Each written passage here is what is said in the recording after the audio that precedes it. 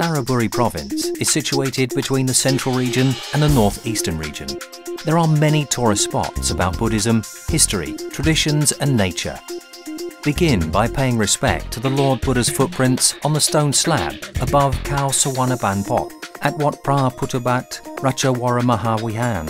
You will be impressed by the beautiful doors of the spired mondop, which is one of the best mother-of-pearl inlaid decorations in Thailand.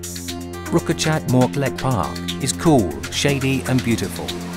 The stream flows through tiers of rocky cataracts downhill.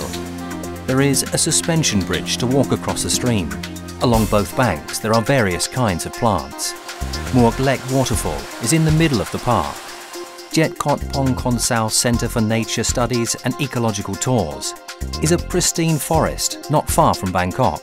There are adventure activities to enjoy, trek in the forest to study the nature, and go to Chetkot Waterfall, in which along the way you can see beautiful butterflies, and Het Tui, a kind of mushroom in the shape of a champagne glass. The Tourism Authority of Thailand invites you to Saraburi province to worship the sacred objects and enjoy nature.